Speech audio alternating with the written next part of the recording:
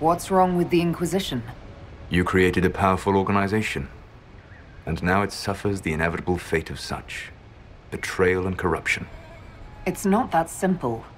Isn't it? Perhaps we should ask your friend, the Iron Bull. Tell me, where is he?